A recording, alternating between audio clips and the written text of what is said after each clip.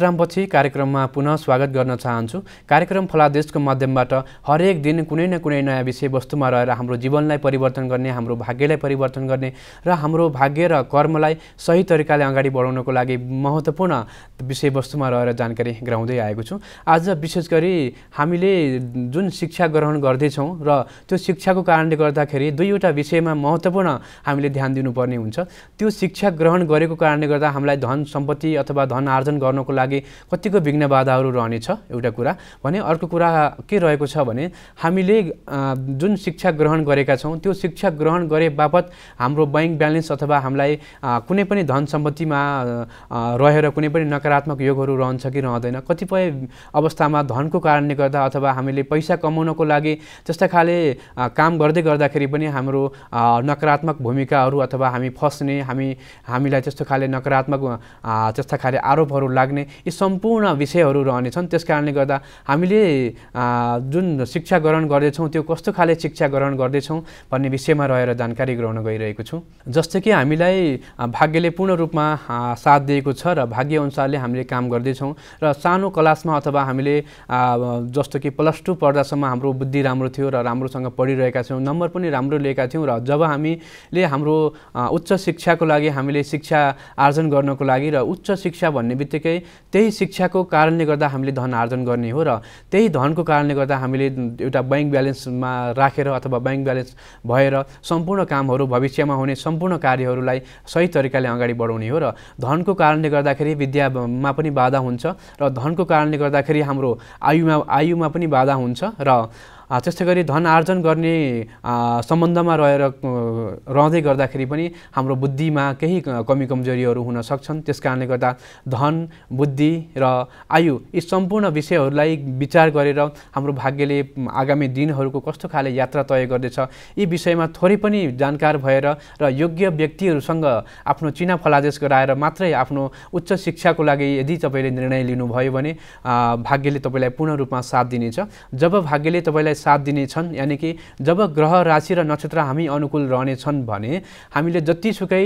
काम कारोबार गर्दै गर्दाखेरि पनि हाम्रो कामहरू बिग्रिँदैन र काम सही तरिकाले अगाडि बढ्नेछ। त्यस कारणले गर्दाखेरि सबैभन्दा पहिले हामीले धन आर्जन गर्ने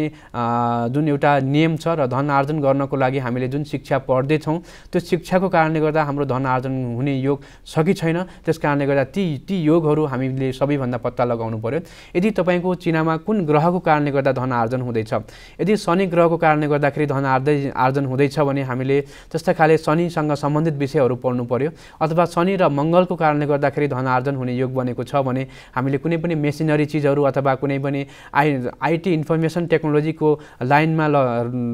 लागेर पनि हामीले शिक्षा ग्रहण गर्न सक्छौँ अथवा कुनै पनि मेसिनरी चिजहरू चलाएर हाम्रो जीविकोपार्जन गर्ने योग बनेको छ भने हामीले कुनै पनि फलाम अथवा अटोमोबाइलसँग सम्बन्धित अथवा फलामसँग सम्बन्धित काम कारबारहरूको शिक्षा लिएर अगाडि बढ्यो भने हामीलाई सम्पूर्ण कार्यहरू र शिक्षाले पनि सही तरिकाको फल दिनेछ। हामी एउटा शिक्षा पढ्छौँ र अर्को शिक्षा भएको स्थानमा हामी जागिर गर्न पुग्छौँ। त्यस कारणले गर्दा हामीले पढेको शिक्षामा भएको जुन भाइब्रेसन छ त्यो भाइब्रेसनको कारणले गर्दा हामीले धन आर्जन गर्नको लागि त्यो भाइब्रेसनले काम गर्दैन अनि त्यस कारणले गर्दा हाम्रो जागिर हुँदैन हाम्रो काम हुँदैन। हामीले राम्रो पढेका छौँ तर जागिर भएन हामीले काम पाएनौँ भनेर कतिपय व्यक्तिहरूले भन्ने र हामीले त्यस्ता खाले व्यक्तिहरूलाई पनि प्रत्यक्ष रूपमा देखेको कारणले गर्दाखेरि पनि यो विषयमा म जानकारी गराउन गइरहेको हुँ र विशेष गरी धन आर्जन गरेर मात्रै भएन धनलाई रक्षा गर्नको लागि अथवा धनलाई जोगाएर राख्नको लागि हाम्रो ब्याङ्क ब्यालेन्सलाई सही तरिकाले राख्नको लागि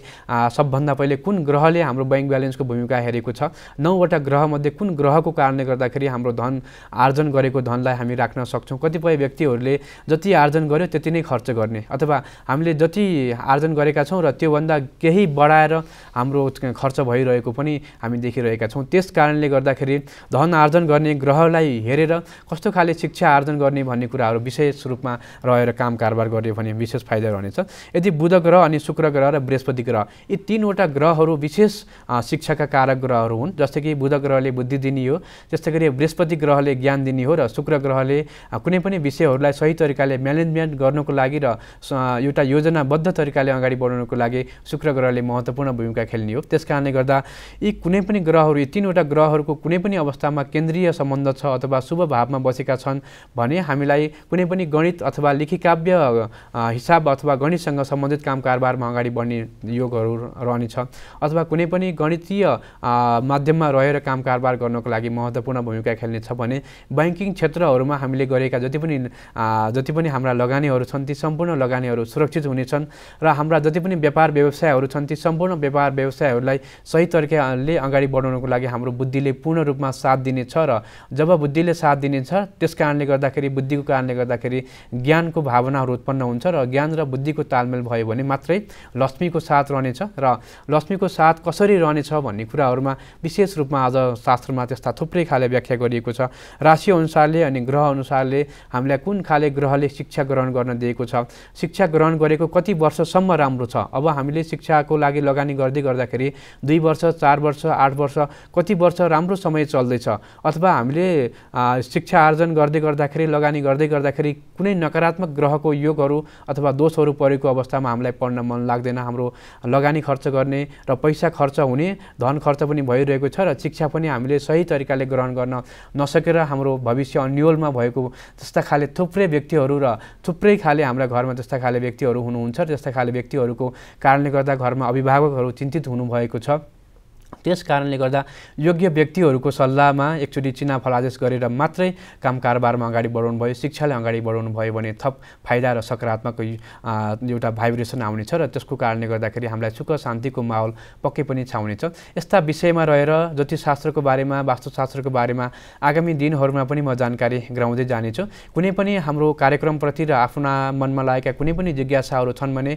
ग्यालेक्सी फोके टेलिभिजनको युट्युबमा गएर कार्यक्रम फलादेशमा हाम्रा सम्पूर्ण कार्यक्रमहरू हेर्न सक्नुहुनेछ र त्यहाँ आफ्ना कुनै पनि जिज्ञासाहरू छन् भने राख्नुभयो भने आगामी कार्यक्रममा तपाईँको जिज्ञासाको पक्कै पनि हामीसम्म हामी सम्बोधन गर्ने प्रयत्न गर्नेछौँ। यतिन्जेलसम्म कार्यक्रम हेरेर साथ दिनुभयो। त्यसको लागि विशेष धन्यवाद दिन चाहन्छु। आजको दिन तपाईँको लागि सुखद रहोस् शुभ रहोस् सँगसँगै मङ्गलमय रहोस्। कार्यक्रम फलादेश हेर्दै रहनुहोस्। ग्यालेक्सी टेलिभिजन हेर्दै गर्नुहोस्। हस्त नमस्कार।